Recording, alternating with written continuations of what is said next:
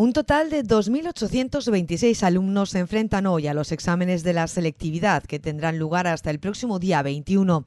El tribunal contará con seis sedes, dos de ellas en la propia Universidad de Almería y las restantes en los institutos de enseñanza secundaria de Agua Dulce, en el de Fuente Nueva, Elegido, en el de Cura Valera en Huercalovera, en el de Cardenal Cisneros en Albox y en el Instituto de Enseñanza Secundaria Gaviota en Adra. La fase general comenzó en la jornada de hoy a las ocho y media de la mañana y en ella participan 2.537 estudiantes de bachillerato.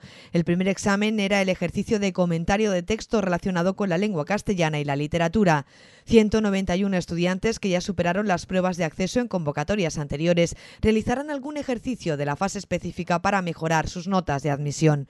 La universidad ofertará para el próximo curso 3.195 plazas repartidas en 28 grados.